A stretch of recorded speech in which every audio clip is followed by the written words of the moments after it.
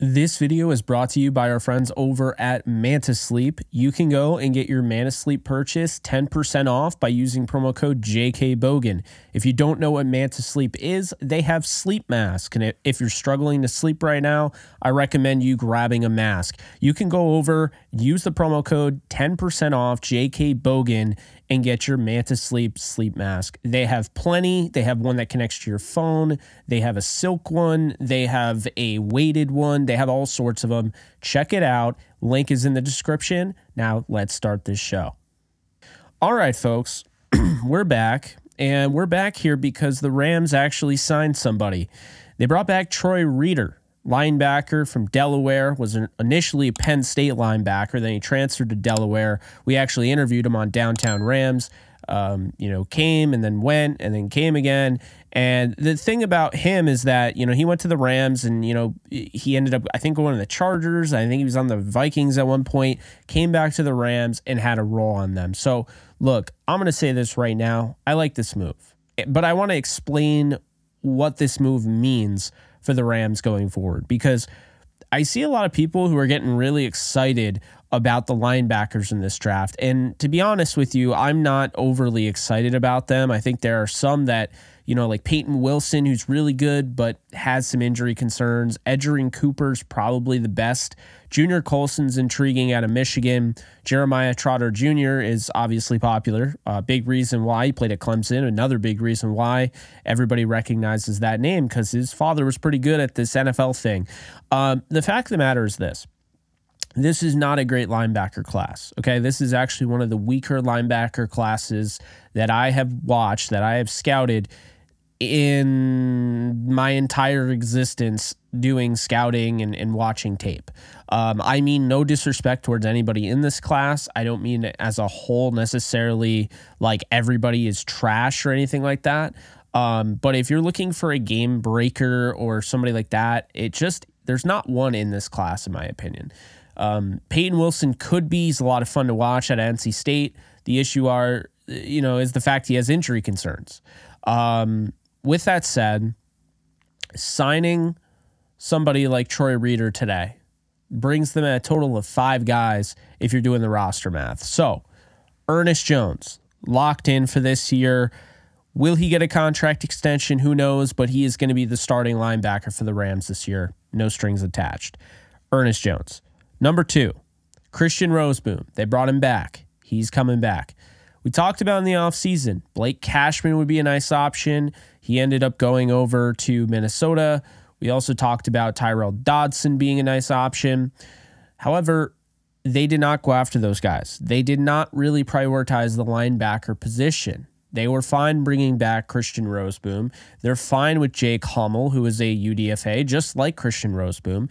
They're fine with Troy Reeder, who is a UDFA, and they're fine with Fatukasi. And the thing about Fatukasi is that he didn't get a ton of opportunities to play last year, um, but he is a great special teamer. It's a big reason why they picked him up. He can play special teams. He's going to fill that in well. Maybe he gets some run on the defense. I'm not saying they don't take a linebacker in this draft. No, that is not what I'm saying at all. I am saying that when you look at this team right now, the way it stands, there's five linebackers, and they just signed two this offseason. They like Jake Hummel, obviously the athleticism. You saw it in preseason, the interception he had. Um, he has, you know, plenty of athleticism there. They like Olakunle uh, Fatukasi. So that pretty much, in my opinion, rules out Peyton Wilson, Edgerrin Cooper, Junior Colson, Jeremiah Trotter Jr., Marist Liufau from Notre Dame, potentially. Tommy Eichenberg from Ohio State, I think it does rule out. Maybe Cedric Gray. So, you know, looking at like Cedric Gray here, Steele Chambers out of Ohio State, I think could they could be interested in. Jaylan Ford out of Texas, Darius uh, Muasau I, I probably butcher that name out of UCLA. I, I like his tape um, as like kind of a late round guy, but yeah. And then you have Dallas Gant out of uh, Toledo, so that's another option. Jordan Magee out of Temple. That is really it. So that that's my point is that I think they're going to be drafting a linebacker, but to kind of, I guess, explain actions speak louder than words. And the Rams told you today by making the action to go back out and bring in Troy Reeder the same offseason they brought back Christian Rozeboom. They want stability and they want familiarity. They want to have guys that know the system, know the scheme, that they can trust. Guys that are leaders, veterans, okay? Um, with that said, they will be taking a linebacker, in my opinion, but it won't be until day three. And I would imagine it's probably going to be late day three, probably in the sixth round. Okay. If I were to guess on anybody off the top of my head, it would be Jaylan Ford out of Texas. That is the one linebacker I think. I, I don't know. I, I, could be wrong, but I, I think Jaylan Ford out of Texas would make sense, uh, depending on where he goes. But I think day three, Jaylan Ford out of Texas. Now, um, what does it mean though? Like, so they definitely can't take a linebacker.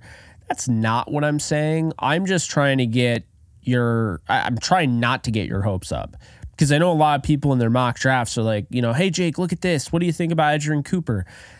I don't think they're going to have any interest in picking a linebacker that high. Um, Cooper will probably go in the second or third round, right? So that's something to keep in mind. Peyton Wilson could even go as high as the first round. So I just don't see them being interested in those guys in that way. Does it mean that they are not on their board? Absolutely not. Does it mean they're not interested in them? No. But where they are on the board, where they will be selected, I don't think the Rams value linebacker as much as the next team. I think they felt really good when they drafted Ernest Jones, like he could be one of those guys. And they kind of gave us a little bit of a, you know, they, they threw a curveball at us. Let's just call it like it is when they got Bobby Wagner. But the fact of the matter is that they have never changed their stance. They prefer linebackers that they could find late in the draft or in UDFA. And to be fair, they've done a nice job with college free agent linebackers. Troy Reeder just signed what his third contract with the Rams. Um, Jacob Hummel's on the team. Christian Rozeboom's on the team. Cory Littleton. I, I mean, they find guys in UDFA all over the place, but linebacker, they've had success, and I think they'll continue to do so. In that case, some linebackers to, to keep an eye on in UDFA, and they could absolutely get drafted. I'm not saying they won't. I mentioned Jordan Magee out of Temple. He's a potential Dallas Gant, like I mentioned, of Toledo, potential Nathaniel Watson out of Mississippi State, Jontrey Hunter out of Georgia State. Easton Gibbs out of Wyoming, Aaron Casey out of Indiana, Omar Speights out of LSU, and Eric Gentry out of USC, as well as Cal Holiday, uh, or Haladay, excuse me, out of uh, Michigan State. So those are just some priority free agents to keep an eye on. Again, this this video is entirely to inform you if you didn't know Troy Reeder is a Ram. He's staying with the Rams. And the second thing, the second purpose of this video is to kind of make a little bit of an inference based on what we know. And what we do know is that now that Troy Reeder's back with the Rams, he's the second, like Christian Rozeboom. Now I suspect that they are not going to take a linebacker super high. Does that mean that Troy Reeder is considered this can't miss gem? No. But they have five guys that they trust. Maybe they add another guy. Maybe they don't add anybody. Who knows? But those are my thoughts. Let me know in the comment section what you guys think. Comment section is going to be a bloodbath. I know not everybody loves Troy Reeder, but hey, Super Bowl champion Troy Reeder deserves some respect, and I'm going to give that to him. So, with that said, appreciate you guys tuning in. Be sure to like, subscribe, and comment. Also, be sure to follow me on all social media at JK Bogen and check out the latest Downtown Rams episode we just dropped. Alexis and I doing our mock draft 2.0 combined. Uh, but that's going to do it. See you guys soon. Later, folks. Do you love talking about the Rams, the NFL, or just want to be a part of a community?